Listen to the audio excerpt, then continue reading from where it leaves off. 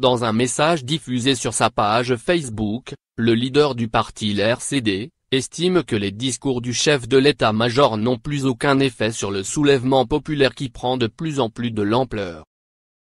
Les contradictions du chef d'état-major s'enchaînaient.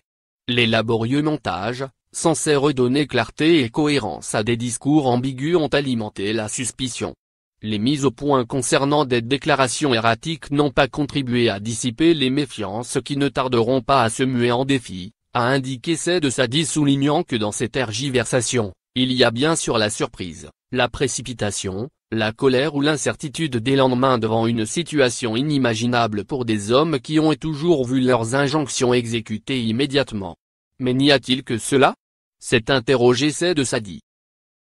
L'homme politique explique le rejet massif des discours de Gay de Salah, l'ignorance des menaces répétées, l'irritation ou la dérision que suscite chez l'Algérien le double langage comme son rejet de solutions imposées exaspère le ministère de la Défense qui ne comprend pas pourquoi ces menaces n'ont plus aucune incidence sur la mobilisation populaire.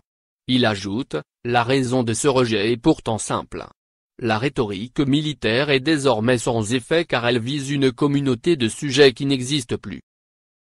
Au lieu de réagir à temps et en concordance avec un moment inédit de notre histoire, l'état-major en touché veut s'ériger en justicier pour faire diversion, espérant tout à la fois voiler ou au moins brouiller les revendications populaires, diviser le mouvement, régler des comptes et polluer le très délicat problème de la corruption en amalgamant les genres et les auteurs ajoute-t-il.